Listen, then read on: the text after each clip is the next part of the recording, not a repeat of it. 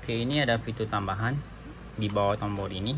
Ini ada namanya SD. SD itu ada uh, untuk suara kontrol suara. Jadi kalau misalnya kita on, layarnya akan mati dalam beberapa detik.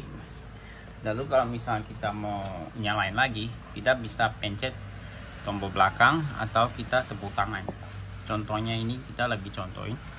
Misalkan untuk kita udah on ya. Oke, readingnya itu mati ya. Kita tepuk tangan dia akan nyala ya. Yang posisi dekat ya. Atau kita pencet tombol apa aja nanti dia akan nyala. Oke ya. Ini fitur uh, voice. Oke kita pencet tombol apa aja. Tadi kan tepuk tangan udah kita pencet tombol ini udah